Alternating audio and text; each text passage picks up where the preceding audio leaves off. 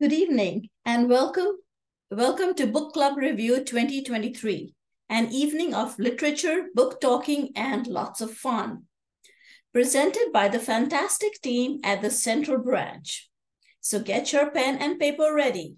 And we welcome questions. Please add them to the Q&A box and we will take them at the end. This event is being recorded and we will share a link to, to that a little bit later.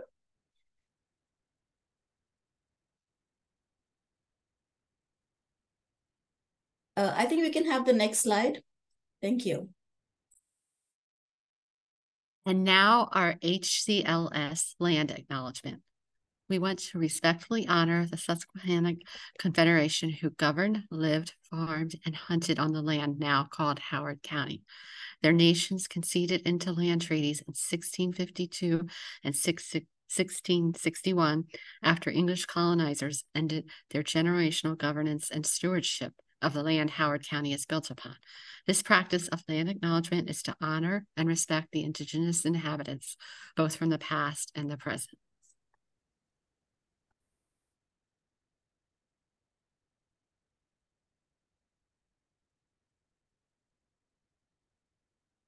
Um, hi, I'm Rohini Gupta, the Adult Learning and Innovation Specialist, and I wanted to share about a really special event that we have coming up on October 15th, Sunday, uh, 2.30 p.m.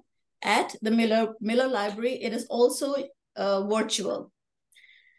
Uh, join with librarians, publishers, authors, poets, and your community in supporting the essential right to read at the Freedom to Read Roundtable presented in partnership with the Howard County Library System and the Howard County Poetry and Literature Society.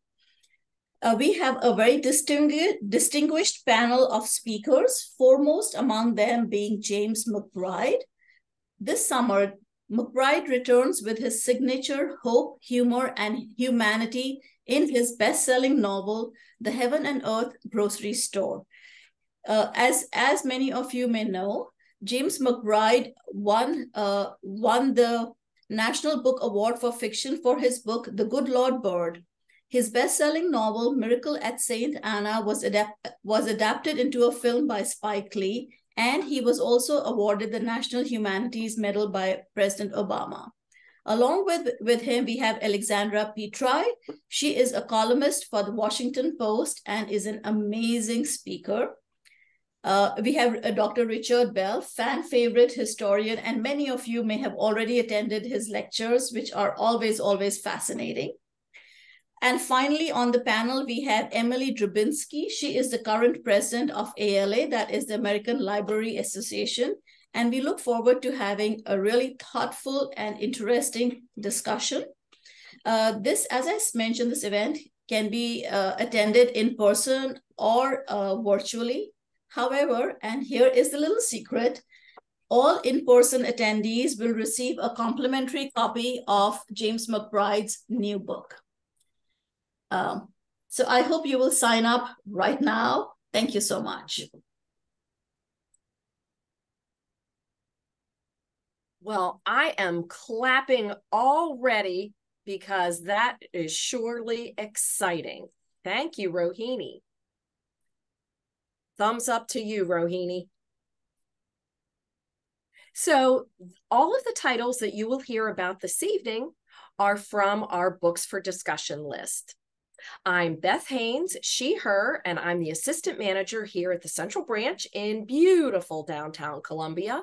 We'd like to thank our colleague Zinka, an instructor from our East Columbia branch, who is serving as our producer. Now, our books for discussion list that will be coming out, you'll get copies of it after our presentation, is actually our Books for Discussion 2024 list, because there'll be books we'll be reading and discussing throughout 2024. Now, here are the parameters for our list. All of the books, HCLS has to own at least six copies. Pretty much every branch owns a copy, and the titles on this list were not eligible for previous books for discussion lists. They're, so they are new ones. And of course, there are space limitations. We can only fit about 100 titles on our list. And I will tell you, it can be brutal when we have to cut titles, and we usually do. But we'll email you the list, the entire slide deck, and other resources after our presentation. So are we ready for our first round? In each round, what we'll do as we promote a title, we'll give the title, the author, whether it's fiction or nonfiction. We'll do our promo, then we'll state the title and author again. So you'll be sure to catch all these great hits. Let's start out with my first selection Dinosaurs by Lydia Millet. Fellow readers, are you tired of books with despicable characters? Books with immoral, self absorbed pains in the neck who make you say, Who cares? Dump the whole lot of them. Oh, like books like Gone Girl and The Dinner and Normal People by Sally Rooney. Well, I have the cure for you dinosaurs Dinosaurs features Gil, a kind but quirky, I mean, he walks across the United States from New York to Arizona to settle into a new house and into a new perspective on life. His interactions and those of his neighbors end up reflecting so many forms of human love. I even ended up feeling some sympathy for the neighborhood bully. If you seek a spare, beautifully written novel offering characters with whom you will connect. Dinosaurs is the one for you. Oh, and the title? Topic for discussion Dinosaurs by Lydia Millet. Hi, everyone. My name is Michaela Baxter, and I'm an instructor and research specialist here at the Central Branch. My pronouns are she, her. And before I talk about my first book, I wanted to mention some information about the one hour technology assistance appointments that Howard County Library System offers. One of our knowledgeable instructors will guide you through the process of setting up your new e reader or help you download some of the library's free reading apps. To borrow ebooks and e audiobooks. We can also assist with other technology questions for your computer, phone, or any other device. Interested? Visit the library's website at hclibrary.org or call your local branch to set up an appointment today. And for my first pick, I wanted to talk about Lady Tan's Circle of Women by Lisa See. Fiction. In this captivating novel, Lisa See takes us on a journey through 17th century China, where we meet Yun Xian, a determined and intelligent girl born into an elite family, destined for a traditional life as a wife and mother. However, fate has something else in store for her as she discovers her passion for healing and becomes one of the first female practitioners of Chinese medicine. Alongside her lifelong friend Mei Ling, a midwife in training, they navigate societal expectations and break barriers to help women from all walks of life. But as she gains recognition and respect, she must face the challenges that come with being a pioneering woman in a male dominated world. Through richly drawn characters and immersive detail, Lady Tan's Circle of Women explores the themes of friendship, resilience, and the power of education in shaping a woman's destiny. Lady Tan's Circle of Women by Lisa See. Hi, my name is Angela Best. I'm an instructor and research specialist here at the Central Branch. My pronouns are she, her. My first book, The Marriage Portrait by Maggie O'Farrell, fiction. Set in the 16th century, the main character, Lucrezia, is the fifth of eight children of an influential Italian family. She's the least understood, she loves animals, and has a keen sense of hearing. After her older sister dies, to honor the agreement between the families, Lucrezia marries her sister's fiance. Her husband, who has recently become Duke, must have an heir. This drives his actions. After joining his household, a marriage portrait is commissioned, and three artists arrive. Issues of innocence, family dynamics, fertility, relationships between those in power and the people who work for them, religion, and artistic talents are raised. At the beginning of the book, Lucrezia anticipates an event. Does this event come to pass? Read The Marriage Portrait by Maggie O'Farrell to find out. Hello, my name is Wendy Camisar, she, her, instructor and research specialist at the Central Branch. Did you know that HCLS has over 20 book clubs for adults? All branches offer groups with a wide variety of genres and themes from romance, mystery, or fantasy, like Zinka's in Other Worlds at East Columbia, to ones that feature titles from our equity collection, like Ash and Angie's Reads of Acceptance. There's something for everyone, days or evenings, in branches or offsite locations, including virtual sessions. Find out more by visiting hclibrary.org under classes and events. Okay, my first pick is Do Tell, a scandalous debut by Lindsay Lynch, fiction. In the golden age of Hollywood, failed actress turned gossip columnist Edie O'Dare is riding out the final year of her studio contract when a rising starlet hands her a note alleging an assault from an A-list actor. Public opinion holds more weight than facts, but Edie's pen holds an even greater power. What she chooses to do next will have huge consequences. There are parties and gowns, backlot brawls, courtroom drama, and the spilling of oh so much tea.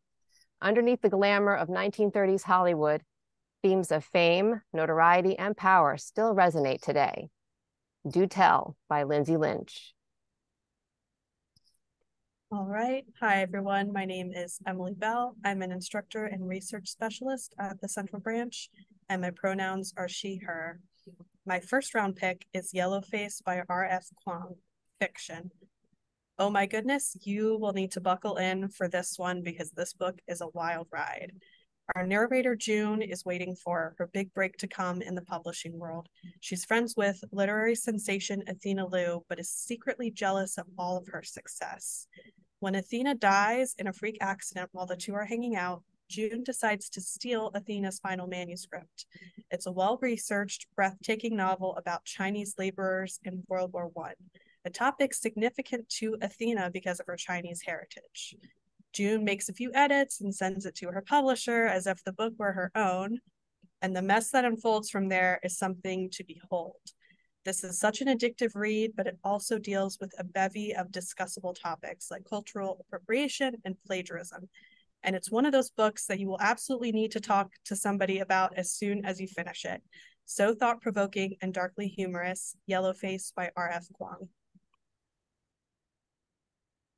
Hi, I'm Angie Engels, instructor and research specialist here at Central, and my pronouns are she, her. Someday Maybe by Onyi Nwabineli, fiction.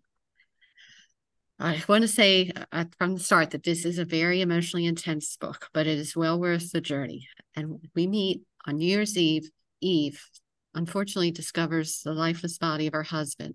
And after 10 years of blissful marriage, she is stunned to find out that he has died without leaving a note. The mystery deepens and and leaving Eve and those closest to her husband, she and her husband, I'm sorry, her and her husband, um, without any clue of what happened. She's Eve is dealing with her grief, and her her family tries to understand and help her, but they're she's while they're in the dark of this devastating event. On top of everything else, Eve has a mother-in-law who blames her for what has happened, and her acerbicness with her is just heartbreaking. There's a lot more that goes on, including a turn of events that sets Eve on a new path.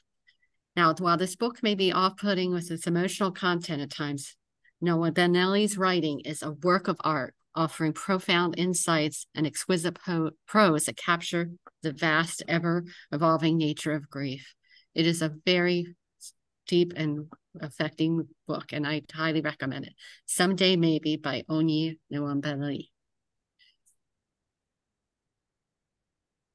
Hello, my name is Roslyn, and I'm also an instructor and research specialist here at Central Branch. And here's a fun tip for you.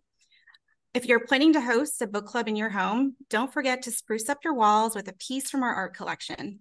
Take home a masterpiece and hear the oohs and ahs from your guests. You can borrow framed and ready to hang pieces from our Central or Glenwood branches.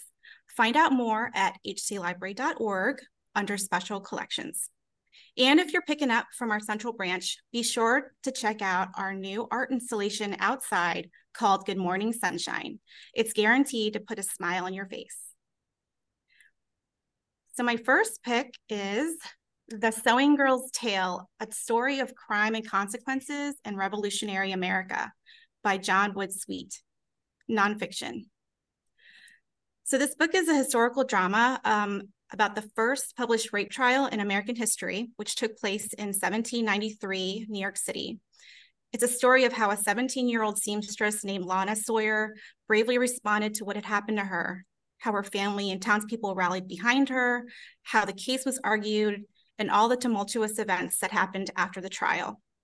It's about class privilege and sexual double standards, we follow Lanah's story through the author's meticulous research, unfolding the scenes behind the trial and recreating the deeply held feelings of revolutionary American society.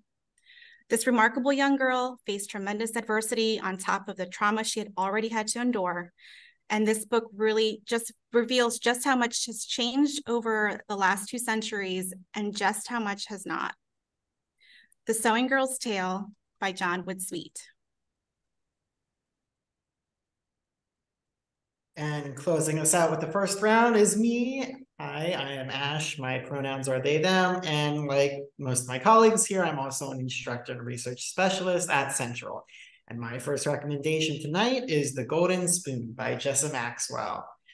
Set at the stately Grafton Manor in Vermont, this mystery alternates perspective between the six contestants and the host of the hit streaming series Bake Week which is this fictional world's version of the Great British Bake Off. In the prologue, we're immediately given a glimpse into the horror to come. On a dark and stormy night, the host of the show discovers a dead body in the baker's tent. However, the novel properly begins four days prior to the murder. We meet each of the contestants as they migrate to the state and settle in as the competition's about to begin.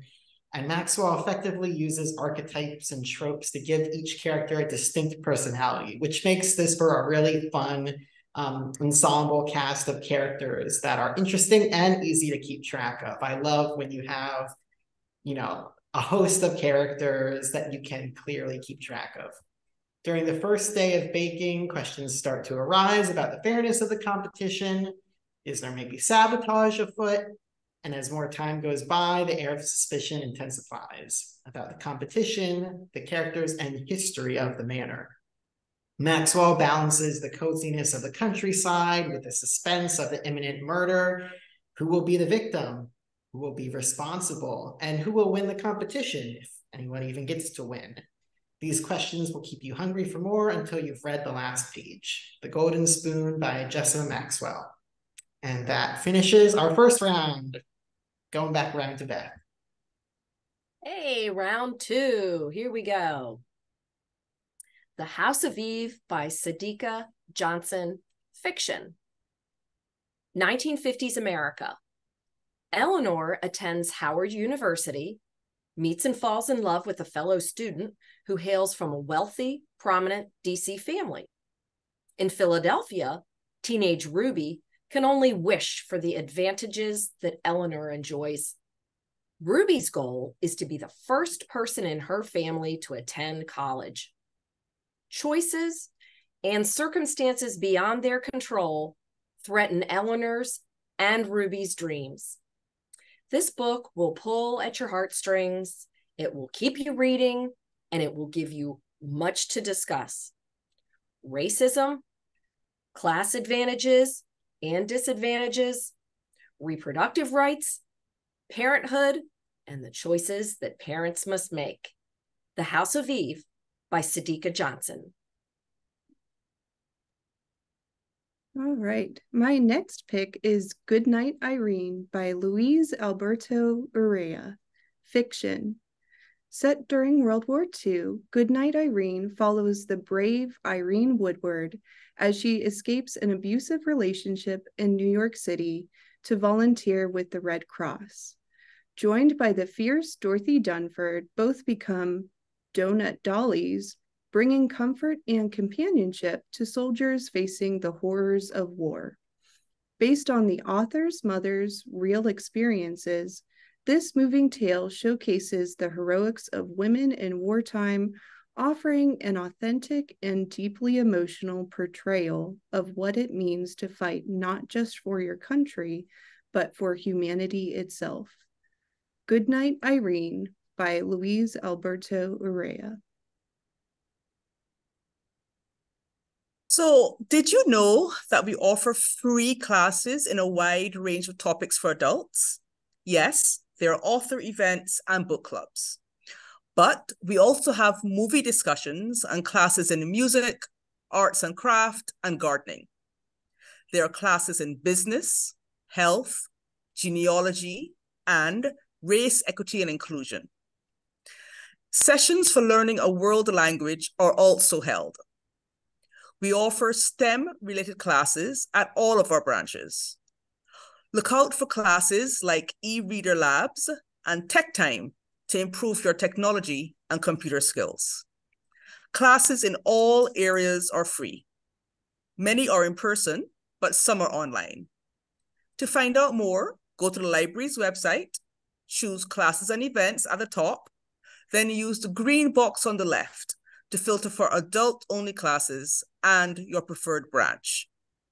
Classes in all of these subject areas are also available for children and teens at all six branches and online.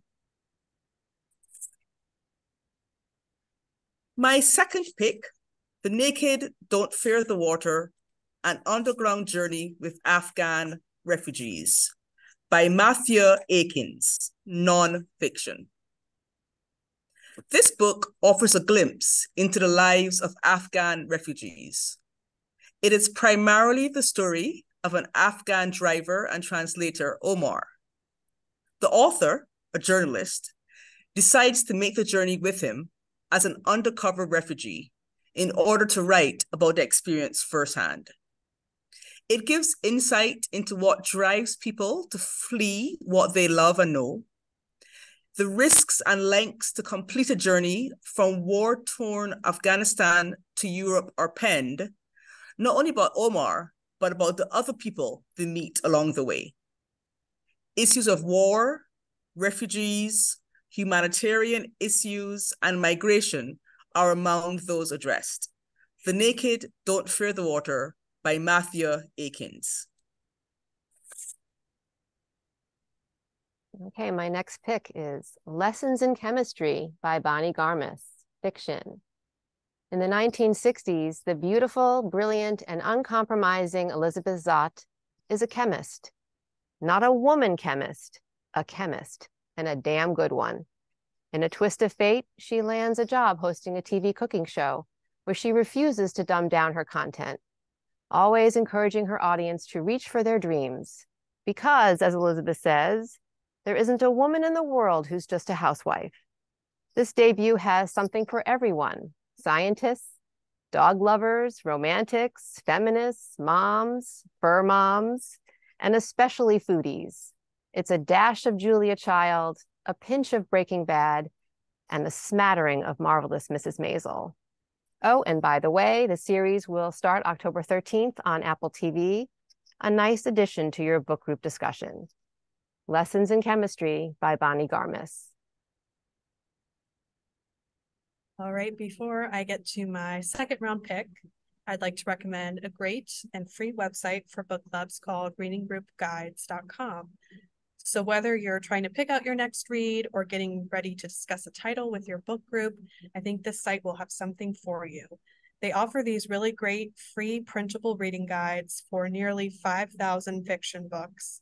Each guide includes an overview of the book, about 10 discussion questions, and a short bio of the author. It makes for a really nice launching point for your discussions. And if you're stuck trying to pick out what your next book club read will be, the site keeps a lot of helpful lists. Um, one of the coolest ones is one they put out on a yearly basis. It's their most requested list, which compile, compiles their most popular reading guides at the end of every year. And these lists offer a really cool insight into the most popular and discussable fiction in recent years. And for select books, they offer um, some short samples, so like chapter long excerpts of the books, if you want to get a taste or a feel for how the book is before you fully commit to reading and discussing it. All right, um, we can go on to my second round pick, which is I Have Some Questions for You by Rebecca Makkai, fiction. In this book, we follow famous podcaster Bodie Kane as she returns to her New Hampshire boarding school to teach a winter break course. She tasks her students with creating, writing, and reporting their own podcasts during the short semester. One student decides to focus on the infamous murder that took place at the school in the 90s, back when Bodie herself was a student. The victim was Bodie's roommate, and the school's athletic trainer was arrested and convicted of the murder. But did he really do it? Bodie wrangles with adolescent traumas as her students prod further into the murder. She grows increasingly conscious of the flaws in the case and begins to question everything she thought she knew about it. This literary mystery is compelling and thoughtful as it tackles the exploitative nature of true crime.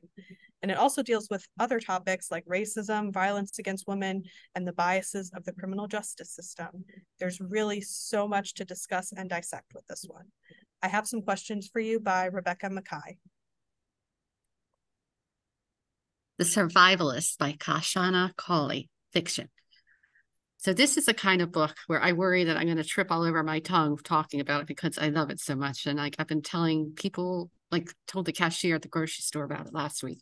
So anyway, in the Survivalist, which I hope gets optioned for a Netflix or Hulu show, we meet Aretha, who is tired of one of boring dates after boring dates. So she decides she's going to go to her date, her latest date and sweats. That way, when she's through with this, what's obviously going to be a horrible date, she can go back home and get right in bed. Well, she meets Aaron and she's surprised to discover that they have so many things in common, including both of them losing parents at a young age. Despite her friend's warning, her friend Nia warnings and some red flags, including the fact that when she goes to his house and meets his friends, um, one of who is building a bunker in the backyard and another who runs an illegal gun operation, she still wants to to hang out with him and and grow close because they have so many other things in common. Oh, and did I mention that Aretha is a high powered mid midtown law uh, works for a midtown law firm and the more stressed out she gets at her job, which is extremely stressful, the more she finds herself getting involved with Aaron and his friends' lives. And before she knows it, she's involved in the illegal gun running. Well, this book is full of so much hysterical, well, not hysterical, that's not the right word. It's just so funny. And the writing is top notch and um, the author is uh, has a law background and she's written for the daily show with trevor noah. I really like this book and i can't wait for it to become a show because it just has to. The survivalist by kashana cauley. Stash my life in hiding by laura cathcart robbins nonfiction. Laura was living a life most only dream about a Hollywood romance, a regular movie premieres, exclusive restaurants, country clubs. But to keep it all together, she was stashing pills in her designer shoes, doctor shopping, and secretly ordering bulk cases of alcohol. In this unique Quit Lit memoir, which by the way, Quit Lit is a genre that follows accounts of addiction and sober living. Um, in this book, you'll be following along and witness Laura's life of privilege and her fall from grace becoming the cliche she wanted so badly to avoid, quote unquote, a Black mother going to rehab. Stash is transparent, raw, and at times humorous. And ultimately, it is another great reminder of how addiction does not discriminate. Stash by Laura Cathcart Robbins.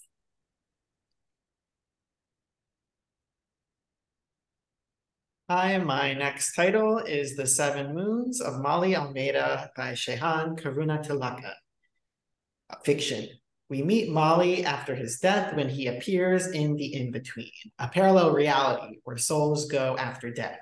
He has seven nights, seven moons, to complete his afterlife booking and processing in order to move on to the light, which is the unspecified great beyond. Instead of doing what he's told, Maali follows a mysterious hooded spirit back to Earth where he tries to figure out who killed him and why. He can't remember anything from the day of his death or how he died, but the suspect list is potentially long, considering he was a photographer of wartime atrocities who sold his photos to any buyer he could find. His most shocking photos, however, are still in a box underneath the bed, somewhere in the realm of the living. Will he be able to contact his loved ones and see his life's work be revealed to the world before his seven moons run out? A darkly comic account of Sri Lanka's civil war in the 1980s. This is an impactful choice for readers who appreciate fiction that gives insight into major real world events. Partially speculative, partially political thriller. There's a lot going on here. Prior to reading this book, I highly recommend reviewing articles about some Sri Lankan history in order to understand the socio-political context before you start. And I'm going to include some um, links in the chat that I recommend that I found helpful when I was reading. Um, this is a complex read that is worth the effort if you're interested in a genre-defying international hit novel about life, love, and speaking truth to power. The Seven Moons of Maali Almeida by Shehan Karuna Karunatilaka. Okay, so now we will move into our third round.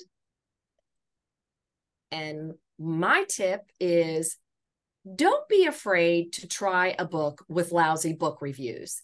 I mean, for example, The Great Gatsby. H.L. Mencken calls the story obviously unimportant, the characters mere marionettes, often astonishingly lifelike, but nevertheless not quite alive. Okay, maybe I get the marionette thing, but in a 1973 review of Sula, the New York Times criticized Toni Morrison, saying her work was boxed in by her insistence on writing about her own community without including interactions with whites.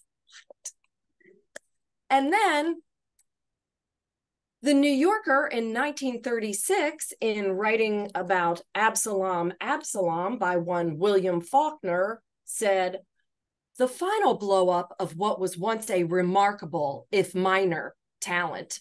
Here you go. so don't be afraid of books with lousy reviews. The exceptions. Oh, this is a long title, but remember, we're going to send you the slide deck so you'll be able to catch up. So the title is The Exceptions Nancy Hopkins, MIT, and the Fight for Women in Science by Kate Zernike, nonfiction. Now, Wendy recommended Lessons in Chemistry, and I agree. Absolutely great book, worthy of discussion. In fact, I participated in a group discussion of it with some of my pals, and we learned a lot from each other. So, of course, I have been suggesting it to my library customers. And what has struck me is the number of my female customers who have said that they are or were scientists or engineers, that they had read lessons in chemistry, and that the novel accurately reflected their experiences as women in their fields. The exception is a well researched, well documented nonfiction account of a similar circumstance and would make an excellent follow up to Lessons in Chemistry. The Exceptions by Kate Zernike. Okay, and my next pick is going to be Crook Manifesto by Colson Whitehead. Fiction. This fast paced thriller set in 1970s New York City follows the trials and tribulations of Ray Carney, a man struggling to maintain his legitimacy while na- navigating the criminal underworld. As the city falls deeper into turmoil, Carney must confront his past and make difficult choices that test the limits of loyalty, morality, and survival. With each chapter taking place in different years, we witness Carney as a reluctant participant in schemes involving arson, robbery, and political intrigue. Accompanied by his partner in crime, Pepper, they navigate the treacherous waters of the entertainment industry, organized crime, and government corruption. With vivid characters and razor sharp dialogue, Crook Manifesto is sure to captivate fans of urban crime fiction. Crook Manifesto by Colson Whitehead. My third book for the evening, Looking for Jane by Heather Marshall, fiction. Based in Canada, this book looks at historical and modern day views of reproductive rights. The lives of, of an unwed mother in 1960 a 1979 underground abortion with complications, a lesbian couple who suffered a miscarriage and are hoping in 2017 that they will have a baby. These and other characters all converge. And of course, Jane. As a doctor told a young lady, call around, keep asking for Jane, and eventually you'll get what you need. Just ask for Jane issues of friendship, love, choices, adoption, societal norms, unwed mothers, and pregnancy, whether longing to be pregnant, a miscarriage, legal and illegal abortions, are all addressed in this book. Looking for Jane by Heather Marshall. Clytemnestra by Costanza Casati fiction. For this debut, imagine Keanu Reeves and John Wick, but make him a woman, kill her children instead of her dog, make the setting ancient Greece, and here we have Clytemnestra. Heroine or villain, Helen of Troy's twin sister is a fierce warrior, murderess, mother, and queen with a knack for survival. A diabolical feminist tale of prophecies, love, and vengeance it tells the story of one of ancient Greece's most notorious femme fatales, whose life is destroyed by the men around her, yet she refuses to give them her power. And by the end of this one, you might just be humming the cell block tango he had it coming from Chicago the Musical. Clytemnestra by Costanza Casati. All right, for my round three pick, I've chosen A Fever in the Heartland. The Ku Klux Klan plot to take over the Ku Klux Klan's plot to take over America and the women who stopped them by Timothy Egan, nonfiction. I am the law. That's what KKK leader DC Stephenson often boasted during his reign of terror over the Midwest in the 1920s. Stephenson was the villain behind the KKK's frightening resurgence. He rebranded the group as a hateful fraternal organization and grew membership into the millions. And all the while, of course, he was lining his pockets with the membership dues and fees. He used that to fund his over the top lifestyle, which included a 98 foot yacht and huge parties at his mansion with excessive amounts of alcohol at the height of Prohibition. This amount of power, money, and influence allowed him and the KKK to infiltrate all facets of the government with ease, and it seemed like Stephenson and the KKK were on a path to the White House. But it all came to a screeching halt at the hands of one courageous woman, Madge Oberholtzer. One New York Times writer remarked that this book often reads like a horror film script or a crime procedural, and I have to agree. It's so well researched, and Timothy Egan presents this troubling history in such an accessible and readable way. It's part two crime, part history, part portrait of an American monster, and a total page turner. A Fever in the Heartland by Timothy Egan. Okay, please forgive my pun when I say when it comes to book clubs and apps, you should come on and get appy. I'm sorry, I'm a huge David Cassidy Partridge Family fan, so I had to steal that. But um, I wanted to mention a few apps that are either book club friendly or actually book club apps. And if you have any questions or would like more details with this, um, just remember that Mickey's tip about booking an appointment for online help, I would be glad to help you with this more. But some that I just really like, I'll highlight some of these of Fable and book clubs are both direct book club apps. So, like, you would go into the app and find book clubs related to either a book you like or types of books. So, I love Fable and book clubs. Um, I'm I think I'm a member of a mystery book club on book clubs. Then Book Binge and like mind and close are more like what should i read next or i'm trying to find a really good book to read as if that's a problem but um anywho like mind is great and also likewise which wendy told me about and thank you wendy because it's my one of my favorite apps likewise will tell you other books that are like the book that you like and it also is for tv shows and movies so um, if you have any questions just reach out through um, booking an appointment and you could note that you want to find out more about book club apps and that Angie um, would know about that. Although a lot of people would know about it too, but thank you. My third book is Roses in the Mouth of a Lion by Bushra Rehman. In this heartwarming tale, we meet Razia and her childhood friends as they navigate the vibrant tap tapestry of Queens. They spend their days bouncing between houses under the watchful eyes of Pakistani aunts and lounging in backyards filled with sunflowers, roses, and grapevines, but also weeds, old cars, and old sofas. Rehman beautifully captures the essence of young friendship brimming with pluck and tumult, while also delving into the complex racial dynamics that first generation children faced in 1980s Queen it, I love this book so much because it combines two of my favorite things, the 1980s and coming of age. Razia it straddles different cultures, excelling in reading the Quran, but also nursing an intense crush on George Michael. However, her life takes a turn when she gains admission to a competitive uh, Manhattan high school and falls in love with a girl, forcing her to confront the difficult choice between her true self and pleasing her parents and her family's expectations.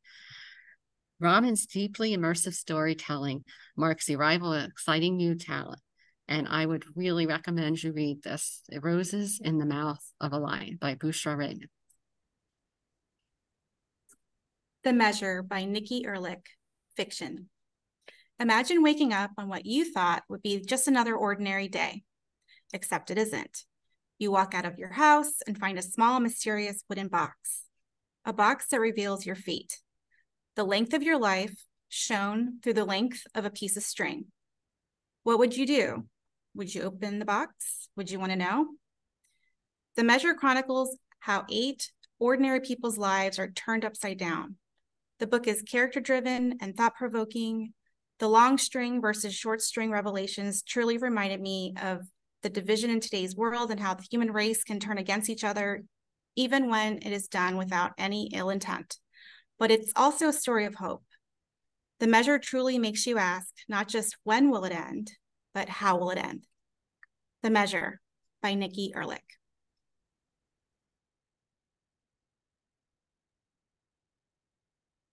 And for our last tip of the night, I am also offering you a resource for more book recommendations. And this is Novelist. If you've looked at our online research tools available through the library, you might be familiar with this. Novelist is a great database that includes information for book recommendations. And one cool feature that not a lot of people seem to know about is the appeal mixer, which I think is very cool. Novelist assigns different appeal factors to each of the titles there, and these appeals are based on writing style, character, tone, things like that. If you're on the main page of Novelist, which is on the top left slide, um, you can, or top left part of the slide, you can see examples of an appeal mix to browse through that they've already put together, such as reflective and leisurely pace. Below that, there's a line that I've highlighted and put an arrow to that says, want to make your own combo? Try our appeal mixer. So that's where you can plug in different combinations, one to three appeals at a time, and you get results from those keywords in the novelist database. So along with the titles and the descriptions of each book, you can also see the availability of the title, which is really helpful if you need a certain number of copies for your book club. And you can also see read alikes for the title and the author for each of the items that come up. So if you're knowing that, hey, I really like this book or I really love this author, what are some other books or some other authors that are similar? The people behind novelists have put together a list and it explains the similarity of why they say this author and this author are similar. This is a really great tool if you or your book club is looking for something with a particular vibe or a particular type of representation. For example, if you wanted ideas of novels you could read in honor of Hispanic and Latina Heritage Month that we have going on right now, you could select Latino, Latina, Latine as a character type, like I did in the example on the screen. So Isabel Allende is the first one that happens to come up. And if you ever want help accessing novelists, again, you can schedule a tech one-on-one with us at any branch, or you could just go into your local branch and see if someone can help you. So that brings us to our final recommendation of the evening, Mercury Pictures Presents by Anthony Marra, fiction. Both witty and poignant, Marra's epic novel explores censorship, fascism, propaganda, and what it means to be an outsider, primarily set in 1940s Los Angeles. The story centers Maria, an ambitious Italian immigrant woman working as an associate producer at Mercury Pictures, a small movie studio facing congressional investigation and potential bankruptcy. Not great for her career.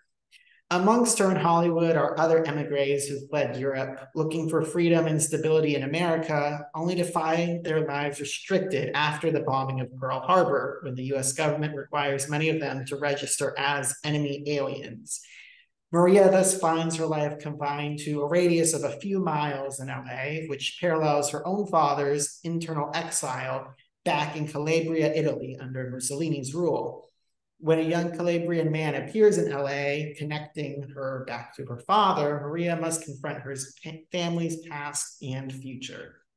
A blend of family saga, screwball comedy, and historical drama, this story will inspire reflection and discussion about current events while transporting you to the past. Mercury Pictures Presents by Anthony Marra.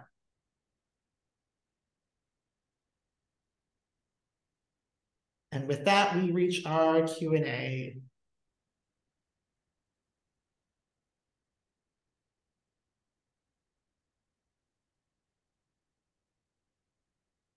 Oh, how do we access the novel, novelist database? Is it linked from the HC Library site? Yes. Yes, so if you go to um, research or online resources, you know, get to that list of our online research tools. The very first category on the list of different resources is book recommendations. And so there's novelist, and then there's also novelist K through eight that's specifically for children and um, middle grade and teen.